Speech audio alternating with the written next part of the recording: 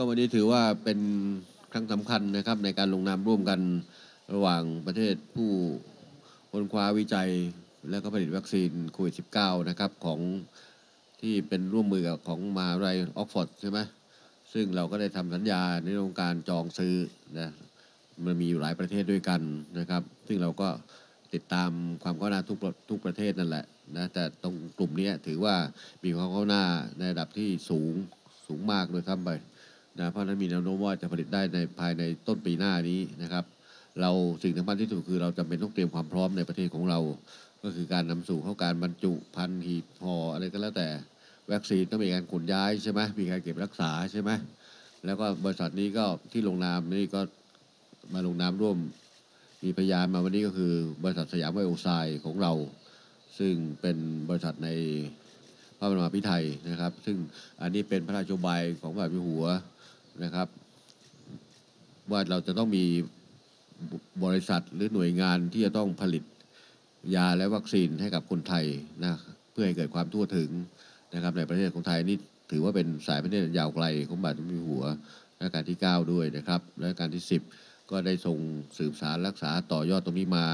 แล้วก็ได้ทรงพระราชทานพระราชานุญาตให้บริษัทสยามไบโอไซด์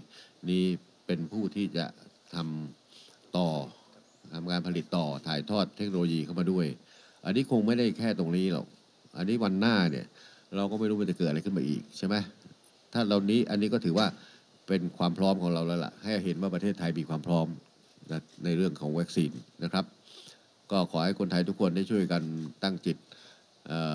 ให้ทุกอย่างมันสำเร็จได้ด้วยดีแล้วกันนะเมื่อเช้าก็ไปเยี่ยมประชาชนตามคลองไปแล้ว ทุกคนก็มีความสุขตามอัตภาพอยู่พอสมควรนะที่เดือดร้อนรัฐบาลก็จะดูแลนะเป็นขั้นเป็นตอนไปแล้วกันนะครับ มีอะไรไหม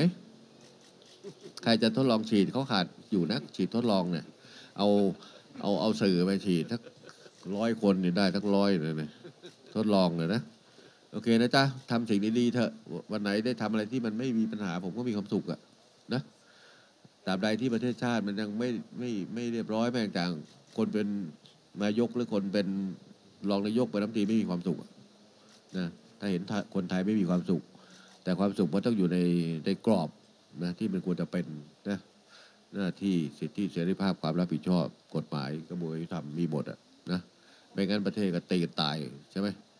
เว้นนะโครงการคนละครึ่งเห็นว่าประชาชนชอบมากจะมีขยายลงไปเด็กนักเรียนมัธยมไหมคะก็เดี๋ยว เขากำลังหารือกันอยู่นะว่าควรจะให้ใครบ้างอะไรยังไงนะนะก็ต้องคือก็อยากจะให้หมดนะแต่มันให้ไหวไหมเจ็ดสิบล้านคนอะหกสิบเจ็ดสิบล้านคนอะ ก็เดี๋ยวไปดูไปดูนะอันนี้ก็ให้สำหรับคนที่เขาระดับรายได้น้อยอยู่แล้วไม่ใช่หรือนะก็อย่างน้อยก็มีอาหารการกินที่มราคาถูกลง หรือซื้อของได้ถูกลงเป็นสองเท่าเนี่ยรัฐบาลก็จะเดินต่อไปนะ เดือนมกรานี่ ก็จะมีมาตรการต่อไปอย่างน้อยก็สามเดือนนะก็ทุกอย่างจะต้องเดินหน้าการใช้งบประมาณทีละสามเดือนสามเดือนสามเดือนเข้าใจไหมให้งบประมาณเป็นเพียงพอนะจ๊ะโอเคไหมนะเออเดี๋ยววันนี้ ไม่อยากจะเอาเรื่องการเมือง